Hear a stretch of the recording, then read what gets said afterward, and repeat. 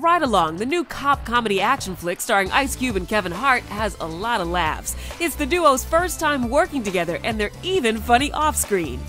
Kevin claims he's the hardest working man in show business. He claims he don't even get no sleep. And uh, that's a damn lie, because I caught him sleeping. You know, so it was just having fun. I'm gonna always look for little things to, to mess with Kevin on. Cube's next album, Everything's Corrupt, is slated for a May release, and he's working on a biopic about his legendary rap group NWA. I would love for my son to portray me in NWA. He definitely got the looks, he has the skills as far as rapping. You know, he's developing his movie chops. You know, I'm gonna do what I can to make that happen. Better start working on that Jheri curl. Ride Along is in theaters now. For more music and celebrity news, check out the VH1 app and VH1.com.